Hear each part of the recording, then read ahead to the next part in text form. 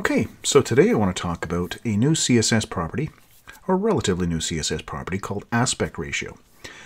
Now, I'm sure you've seen situations where you've got image tags that are loading on the page, and if you haven't in the HTML explicitly put a width and a height in, you know that this is going to be just sort of a, a blank little spot on the page, and when the image loads, it'll expand and then pushes the other content out of the way. Once the image is loaded, there's a built-in aspect ratio that's intrinsic to the image. If in your CSS you provide a width for this, the height will become auto, and that's because the browser understands the aspect ratio. What is the ratio of the width to the height of this image? Well, this new aspect ratio property, what it's going to do is it's going to let us set that property in here so that it will render your blank image at whatever the width and height are that you've got set on that image. It'll hold the space for it automatically before the image loads. But beyond that, we also get to use aspect ratio on other elements. So here, for example, I've got a few elements, a few paragraphs, and I'm using the aspect ratio property. So let's take a look at how we're doing this. So I've got some default styling on the paragraphs. Here, let me zoom in a little bit on this content. I've got some default size, uh, padding, box sizing, background color for all my paragraphs. Uh, the last paragraph, I'll come back to that one in a minute, but 1, 2, and 3, these are the, this, these paragraphs right here. I've got a width set on all three of them, and then I'm using the aspect ratio property here. So 1 to 1, width to height, 3 to 1, width to height, 4 to 2, width to height. So because this is 200 pixels wide, it's going to be 200 pixels tall without me specifying a height. This second one 3 to 1, well, if it's 300 pixels wide, it's going to be 100 pixels tall. And the last one, 400 wide, 200 tall. And just to show that I could change it, let's say 4 to 4, so it's a 1 to 1 ratio, 400 pixels by 400 pixels. So we can play around with these numbers as much as we want to resize other elements. Now it is fairly new. Um, I've got a copy of this page open here in Firefox.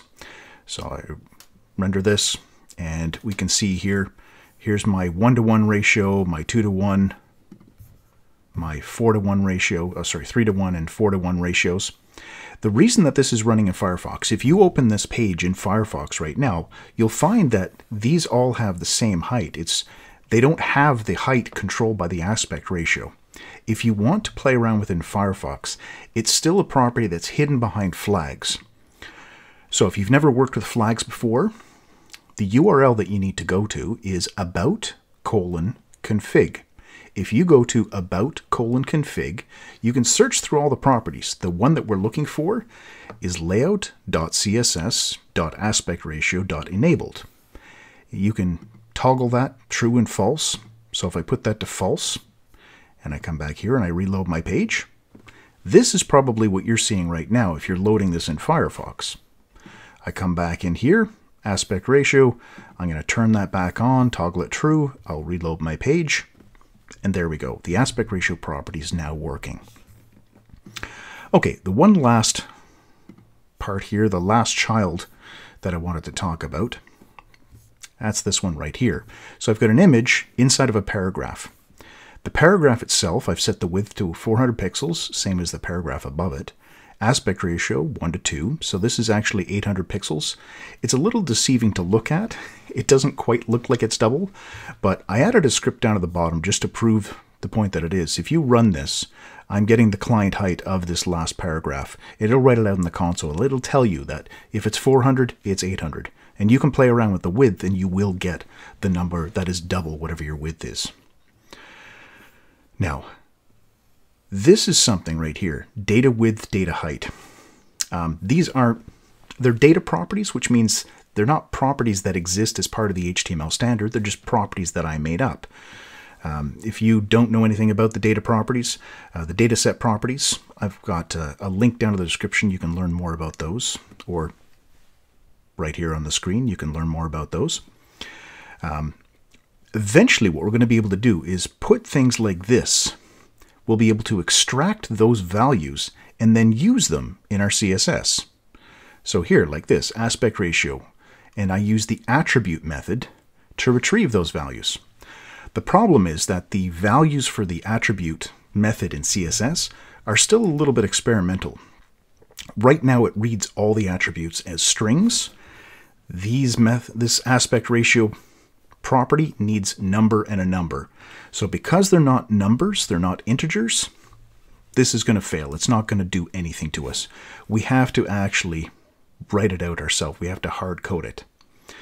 Now, the one exception to that is the image element.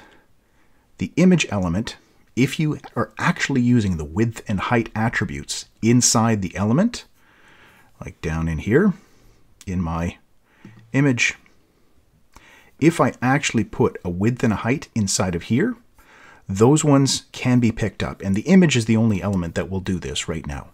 Um, in the near future, hopefully, all of these elements will be able to do the same thing. And this is what I talked about at the beginning.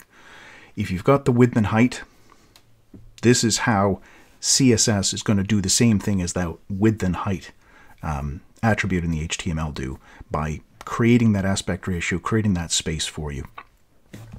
Okay, so that's it. The aspect ratio, new property, really new. Firefox, you got to turn on the flag to make it work, but it will run in Edge, it will run in Chrome right now.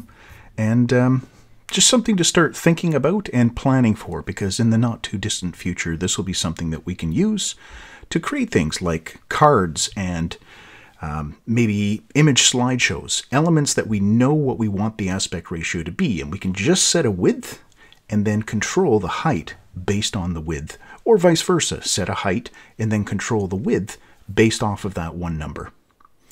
All right, so I hope that helps you out. If you have any questions, feel free to leave them in the comments. I'll answer what I have time for.